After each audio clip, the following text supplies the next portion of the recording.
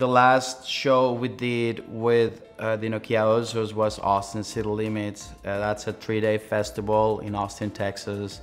Um, headliners were Radiohead, Mumford & Sons, um, Kendrick Lamar. The preparation this time, I think it was less about some of the technical hurdles, but more about the creative.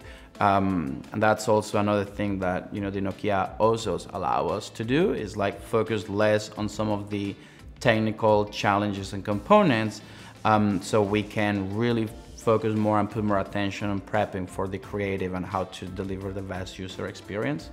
We are big believers that you know the same way that you want to be close and position cameras closer to your subject we're also firm believers that you need more cameras, that you need more vantage points to make a virtual reality broadcast engaging and interesting. Not everybody understands that is that virtual reality, other than of course like the format where you can look around, eh, it's it's also 4K video.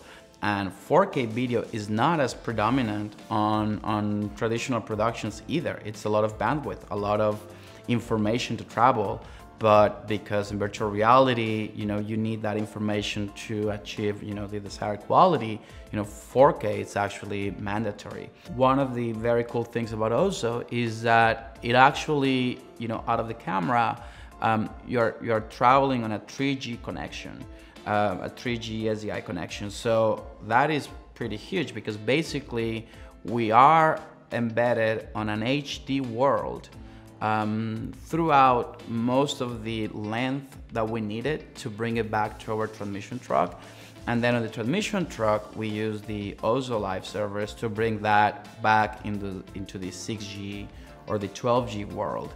You end up with 4K and 6G, uh, but you transport it on 3 on 3G, and you know that you know, it has implications where you can use traditional SDI cables, you can use a lot of traditional equipment that is already available for, for the existing productions. Something that was also a first for us, and, and again, it's, it's something that potentially right now, the Ozo is the only equipment capable of doing these um, at this quality and the professional and reliability that we're expecting is that we live stream our first two performances in 360 stereoscopic and yeah look forward to to see where you know in our next broadcast we bring more of that capability from Ozo.